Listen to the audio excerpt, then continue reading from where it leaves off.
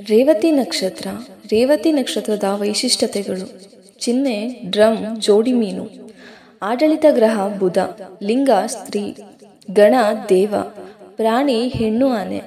ಭಾರತೀಯ ರಾಶಿಚಕ್ರ, ಹದಿನಾರು ಡಿಗ್ರಿ, ನಲವತ್ತು ಮೈನಸ್ ಮೂವತ್ತು ಡಿಗ್ರಿ ಮೀನ. ಇದು ನಕ್ಷತ್ರ ಪುಂಜದಲ್ಲಿ ಕೊನೆಯ ನಕ್ಷತ್ರವಾಗಿದ್ದು, ಪ್ರಯಾಣವನ್ನು ಸೂಚಿಸುತ್ತದೆ. ಈ ನಕ್ಷತ್ರದ ಜನರು ಪ್ರೀತಿ, ದಯೆ ಮತ್ತು ಸಹಾಯ ಮಾಡುವ ಗುಣವನ್ನು ಹೊಂದಿದ್ದಾರೆ. ಸಂತೋಷದಿಂದ ಇರಲು ಬಯಸುತ್ತಾರೆ. ಸಕಾರಾತ್ಮಕ ಯೋಚನೆ ಮಾಡುತ್ತಾರೆ. ಹೊಸ ಜನರ ಬಗ್ಗೆ ತಿಳಿದುಕೊಳ್ಳುವ ಕುತೂಹಲವಿರುತ್ತದೆ. ಸೃಜನಶೀಲ ವ್ಯಕ್ತಿಗಳಾಗಿದ್ದು ಉತ್ತಮ ಕಲಾವಿದರಾಗಿರುತ್ತಾರೆ. ಪುರುಷ ಗುಣಲಕ್ಷಣಗಳು. ರೇವತಿ ನಕ್ಷತ್ರದಲ್ಲಿ ಹುಟ್ಟಿದ ಪುರುಷರು ಪ್ರಾಮಾಣಿಕರಾಗಿರುತ್ತಾರೆ ಮತ್ತು ಅಚ್ಚುಕಟ್ಟಾಗಿ ತಮ್ಮ ಕೆಲಸವನ್ನು ಮಾಡುತ್ತಾರೆ. ಈ ನಕ್ಷತ್ರದವರು ಪ್ರಾಯೋಗಿಕ ಮತ್ತು ಭಾವನೆಗಳ ವಿಷಯದಲ್ಲಿ ಉತ್ತಮ ತಿಳುವಳಿಕೆ ಹೊಂದಿದ್ದಾರೆ. ಇನ್ನೊಬ್ಬರಿಗೆ ತಮ್ಮ ಅನುಭವದ ಮೂಲಕವೇ ಮಾರ್ಗದರ್ಶನ ನೀಡುತ್ತಾರೆ. ಈ ನಕ್ಷತ್ರದಲ್ಲಿ ಹುಟ್ಟಿದವರು ಬಾಲ್ಯದಿಂದಲೂ ಸ್ವತಂತ್ರವಾಗಿ ಬದುಕುತ್ತಾರೆ. ಇವರು ಇನ್ನೊಬ್ಬರ ನಿಯಂತ್ರಣದಲ್ಲಿರಲು ಬಯಸುವುದಿಲ್ಲ. ನಿಯಂತ್ರಿಸಲು ಹೋದರೆ ಕೋಪದಿಂದ ವರ್ತಿಸುತ್ತಾರೆ. ರೇವತಿ ನಕ್ಷತ್ರದ ಪುರುಷರು ಅವಲೋಕಿಸದೆ ಯಾರನ್ನೂ ನಂಬುವುದಿಲ್ಲ. ಒಮ್ಮೆ ನಂಬಿಕೆ ಬಂದರೆ ಕೊನೆಯವರೆಗೂ ನಂಬುತ್ತಾರೆ. ಇವರು ತುಂಬ ಮಹತ್ವಾಕಾಂಕ್ಷೆ ಇರುವ ವ್ಯಕ್ತಿಗಳಾಗಿದ್ದು ನಿಷ್ಠಾವಂತರು ಆಗಿರುತ್ತಾರೆ. ಇವರು ತಾವು ಮಾಡುವ ಕೆಲಸದಲ್ಲಿ ಹಿನ್ನಡೆಯಾದರೆ ಖಿನ್ನತೆಗೂ ಒಳಗಾಗಬಹುದು. ಪ್ರತಿ ನಕ್ಷತ್ರದ ಪುರುಷ ವೃತ್ತಿ ಜೀವನ. ಈ ನಕ್ಷತ್ರದ ಪುರುಷರು ಅನುಭವವಿಲ್ಲದ ಕೆಲಸದಲ್ಲೂ ಕೂಡ ಸಂಪೂರ್ಣವಾಗಿ ತಮ್ಮನ್ನು ತೊಡಗಿಸಿಕೊಂಡು ಕೆಲಸ ಮಾಡುತ್ತಾರೆ. ಇದೇ ಕಾರಣಕ್ಕೆ ಬಹಳ ಸಾರಿ ವೈಫಲ್ಯ ಅನುಭವಿಸುತ್ತಾರೆ. ಇದರಿಂದ ನಿರಾಸೆಗೂ ಒಳಗಾಗಬಹುದು. ಯೋಚಿತ ರೀತಿಯಲ್ಲಿ ಮಾಡುವ ಕೆಲಸಗಳಲ್ಲಿ ಇವರು ಸಫಲರಾಗುತ್ತಾರೆ. ಇವರು ವೈಜ್ಞಾನಿಕ ಮನೋಭಾವ ಹೊಂದಿರುತ್ತಾರೆ.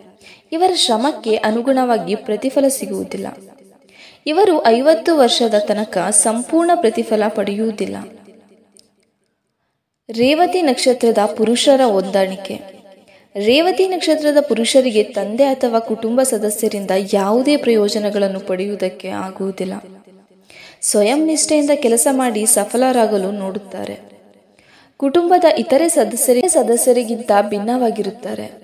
ಇದರಿಂದ ಇದರಿಂದ ಕುಟುಂಬದವರೊಂದಿಗೆ ಅಸಮಂಜಸತೆಗೂ ಕಾರಣವಾಗುತ್ತದೆ ಮತ್ತು ಈ ಸ್ವಭಾವವು ಹೆಂಡತಿಯ ಮೇಲೂ ಪ್ರಭಾವ ಬೀರುತ್ತದೆ.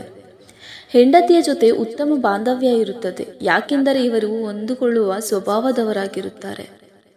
ರೇವತಿ ನಕ್ಷತ್ರದ ಪುರುಷರ ಆರೋಗ್ಯ. ಈ ನಕ್ಷತ್ರದ ಪುರುಷರಿಗೆ ಜ್ವರ, ಗುಳ್ಳೆ, ಮೊಡವೆ ಸಮಸ್ಯೆಗಳಿರುತ್ತದೆ.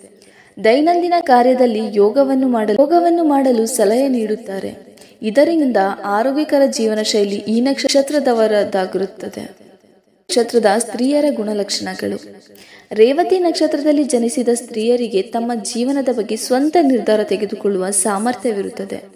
ತಮ್ಮ ನಿಯಂತ್ರಣದಲ್ಲಿರದ ವಿಷಯವನ್ನು ಕೂಡ ತನ್ನ ಬುದ್ಧಿಶಕ್ತಿ ಉಪಯೋಗಿಸಿ ನಿಯಂತ್ರಿಸುತ್ತಾಳೆ.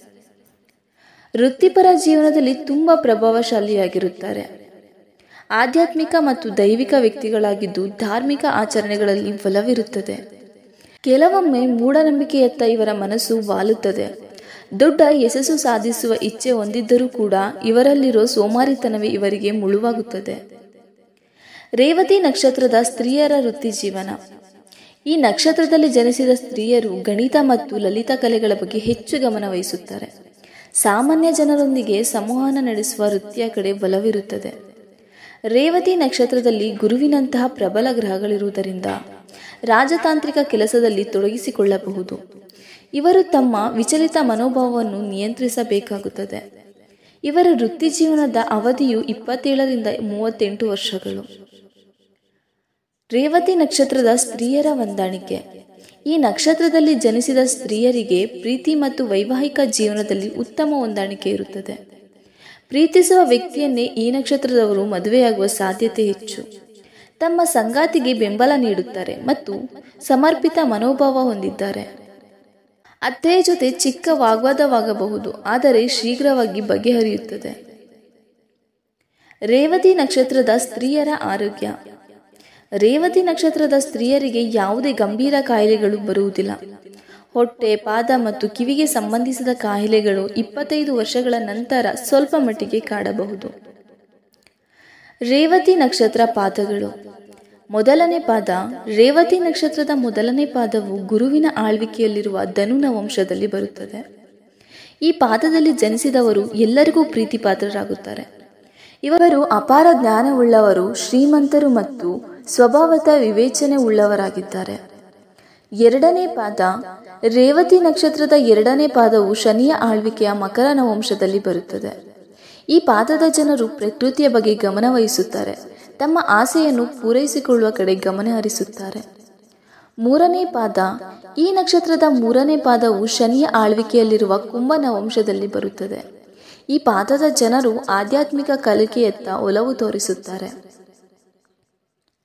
ನಾಲ್ಕನೆಯ ಪಾದ ಈ ನಕ್ಷತ್ರದ ನಾಲ್ಕನೇ ಪಾದವು ಗುರುವಿನ ಆಳ್ವಿಕೆಯಲ್ಲಿರುವ ಮೀನ ನವಂಶದಲ್ಲಿ ಬರುತ್ತದೆ.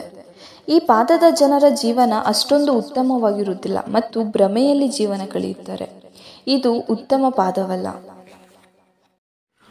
ನೀವಿನ್ನೂ ನಮ್ಮ ಚಾನಲ್ಗೆ ಸಬ್ಸ್ಕ್ರೈಬ್ ಆಗಿಲ್ಲ ಅಂತ ಅಂದರೆ ಸಬ್ಸ್ಕ್ರೈಬ್ ಬಟನ್ನ ಒತ್ತಿ ಪಕ್ಕದಲ್ಲಿರುವ ಬೆಲ್ ಐಕಾನ್ನ ಪ್ರೆಸ್ ಮಾಡಿ. ನಾವು ಅನುದಿನವೂ ಪೋಸ್ಟ್ ಮಾಡುವ ವಿಡಿಯೋಗಳ ನೋಟಿಫಿಕೇಷನ್ ಬರುತ್ತೆ.